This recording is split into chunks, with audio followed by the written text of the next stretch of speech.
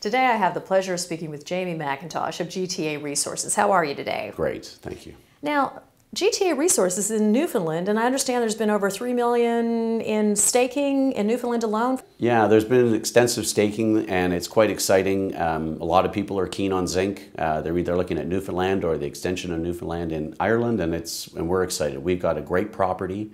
It's a long strike from Teck's Duck Pond, and uh, we just did 874 meters there, so we're, we're pretty excited. The drilling program went well. So for those of you out at Investor Intel land that may not be familiar with the fact that GTA also has zinc in addition to their gold Hemlo project, can you tell us a little bit more about your Burnt Pond project, please? Yeah, Burnt Pond is uh, a long strike, as I said, from Duck Pond. Uh, we've got the similar uh, geologic horizons, and we just uh, drilled 874 meters and hit a very nice uh, extension of that burnt pond horizon by we extended it by 250 meters so we're pretty excited and for those of you at Investor Intel that may not be familiar with GTA Resources trading on the TSX Venture, Jamie, can you give us kind of a quick overview about what GTA Resources is?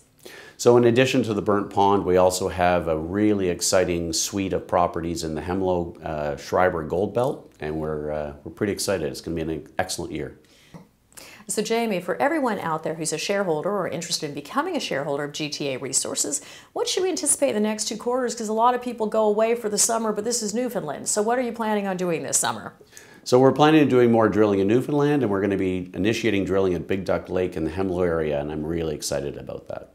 Well, Jamie, thank you so much for joining us today. It's always a pleasure. Thank you, Tracy.